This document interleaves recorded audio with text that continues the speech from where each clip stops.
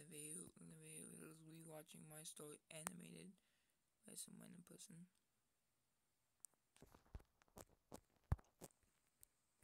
One, this this video is 18 plus, so um, if you're not 18, get the fuck out of here.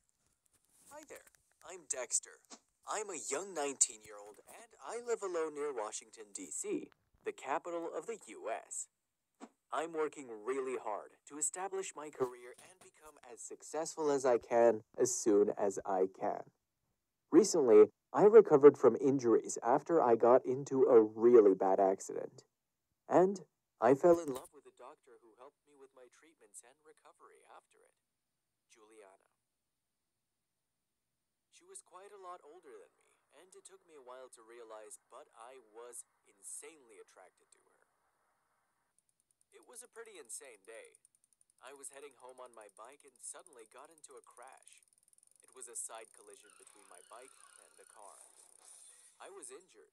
One side of my body was completely paralyzed, I was bleeding from the head, and I was badly hurt. Within a few minutes, the ambulance came and took me to the hospital. My left leg and hand had fractures, I had a minor injury in the left side of my brain, and my whole left half was scratched up and bruised. I was asked to remain under observation for a whole week in the hospital's emergency ward. I used to hate the feeling of being in the hospital, but I had no choice. I was injured and needed to recover. I had to stay.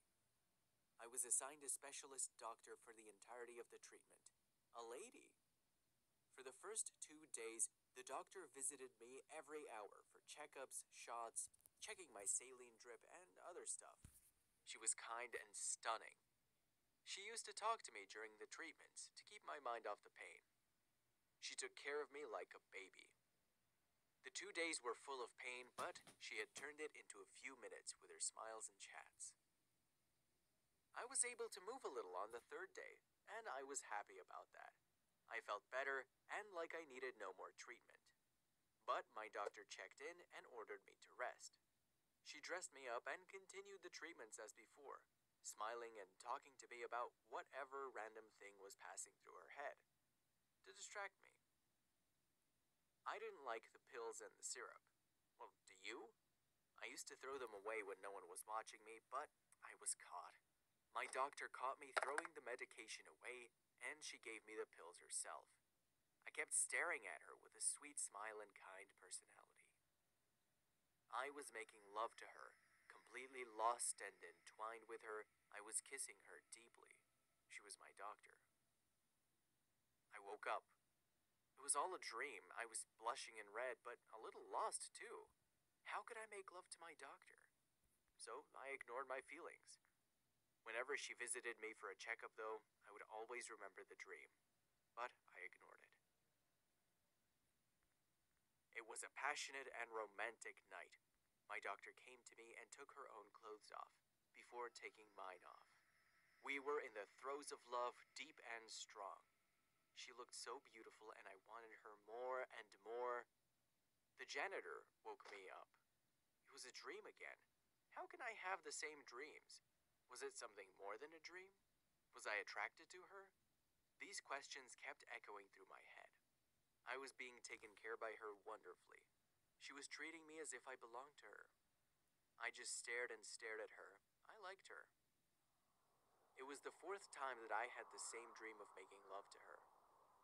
I had understood that I really liked her. Maybe I even loved her. I'd fallen in love with her kindness, her smile.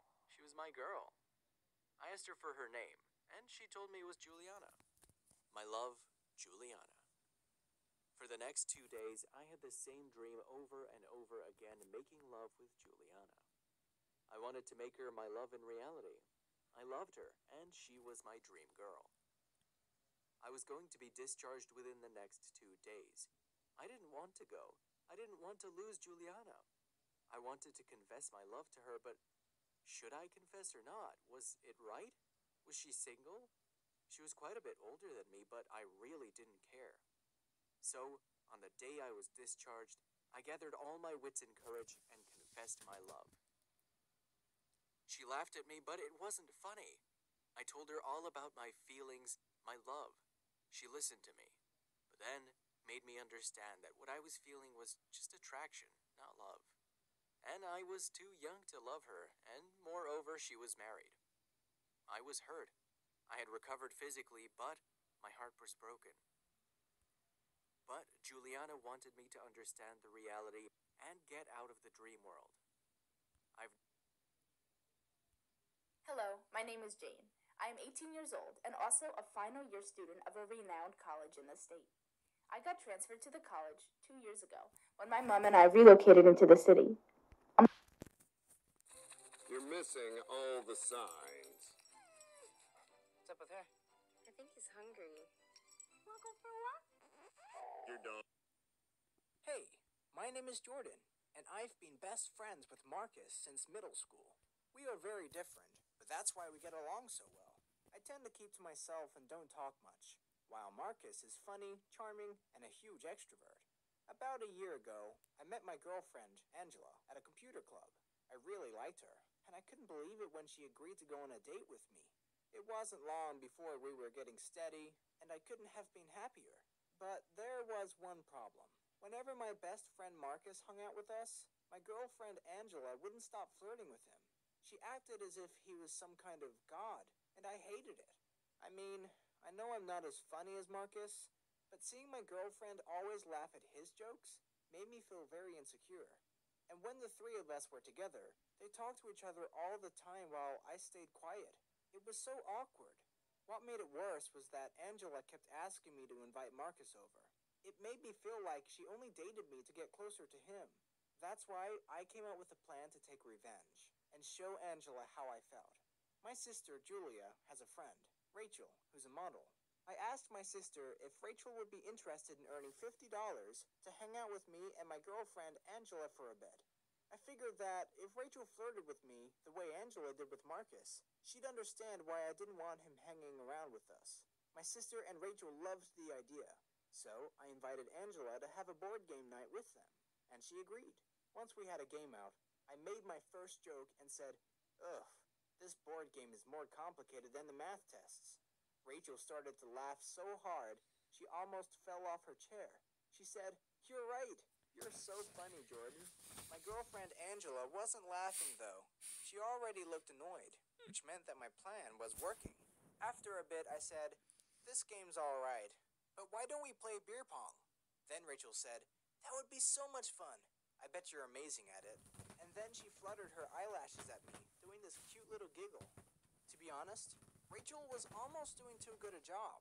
She was flirting so hard, I felt a little uncomfortable, but I figured it was all part of the plan. After a while, my girlfriend Angela asked if she could talk to me in private. When we were alone, she got really angry and said, Stop flirting with her. She's all over you. She's laughing at everything you say, even though it's not funny. It's pathetic. You need to tell her to leave. I loved seeing Angela all jealous. Now she knew how it felt to worry about losing me.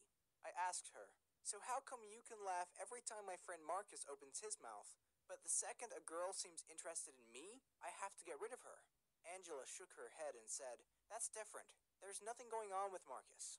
Then I told her, Well, I like it when someone enjoys my jokes, and if you don't think they're funny, you can go home. Fine, I will, she stormed out, saying, Forget about seeing me again. It's over between us. When I told Julia and Rachel what happened, they were really sorry.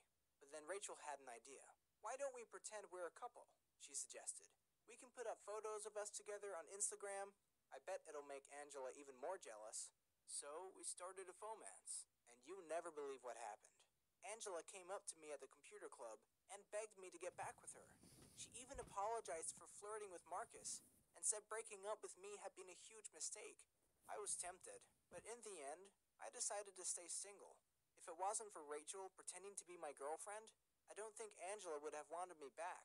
And once I thought about our relationship, I wondered why I'd want to be with someone who made me miserable and kept talking about how great my best friend was. Did you know she used to complain I was too short and told me to go to the gym because she was embarrassed by how I looked? Dating Angela was a mistake, but that's okay.